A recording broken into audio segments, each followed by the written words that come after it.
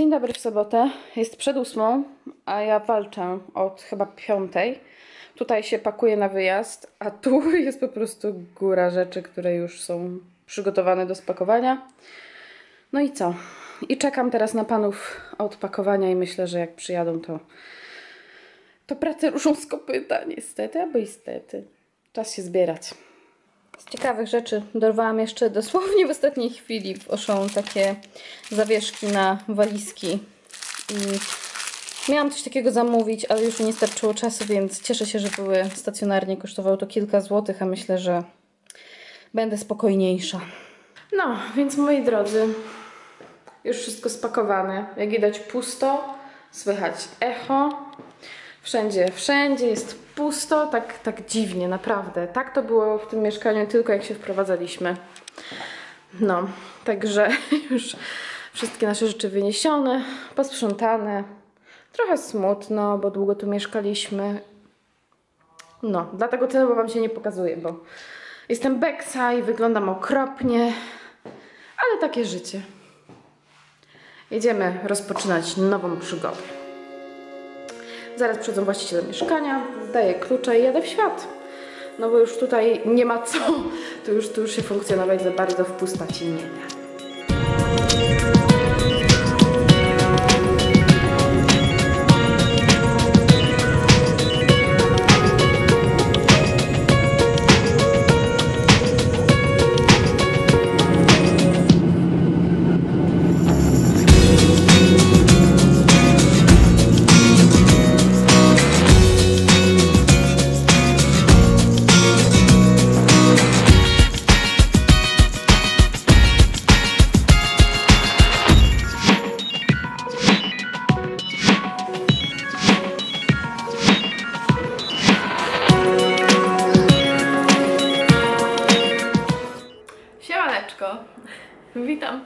Przerwie.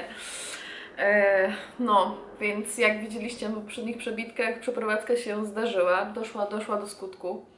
E, I tak naprawdę wyrwała mi z życia jakieś półtorej tygodnia, w trakcie których wszystko mi się tak trochę zlewa w jeden taki długi ciąg.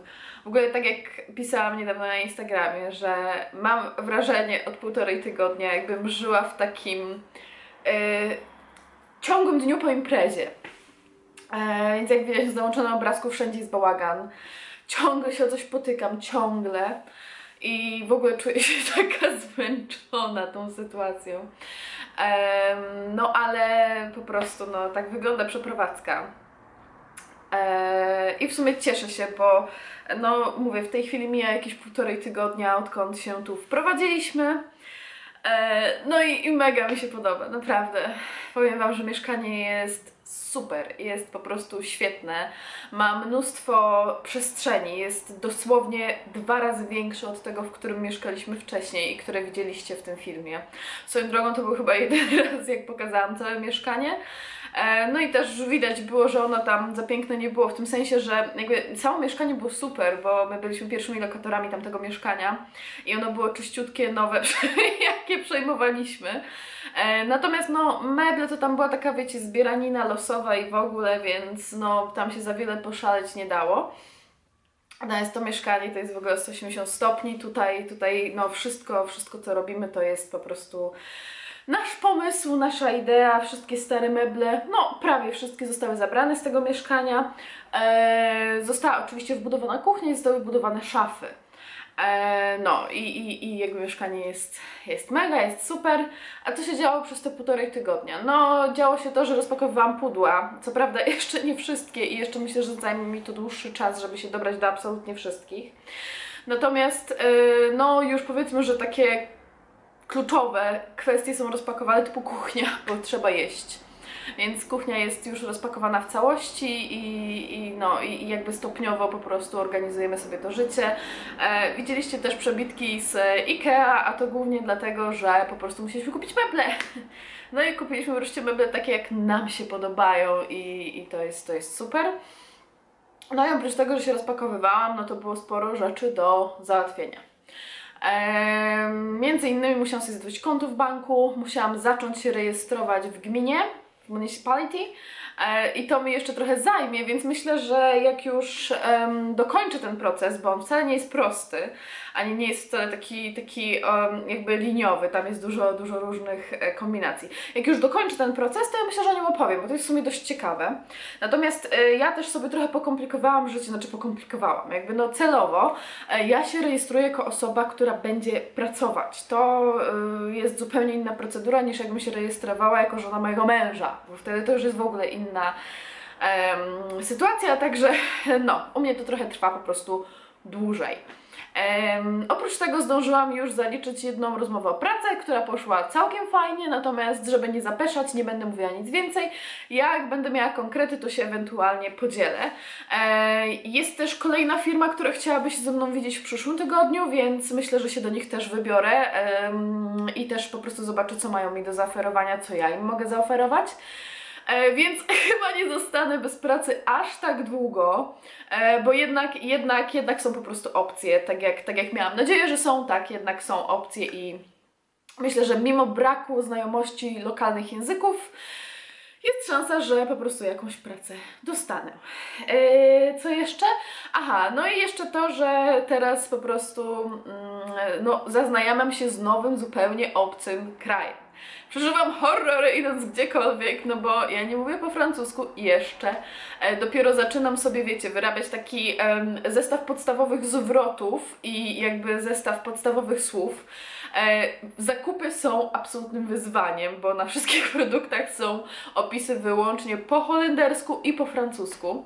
Więc no, jakby zakupy zajmują mi tak dwa razy tyle czasu, w zasadzie trzy razy tyle, bo po pierwsze, to są sklepy, których nie znam, więc to nie jest tak, że wchodzę, biorę produkt i wychodzę.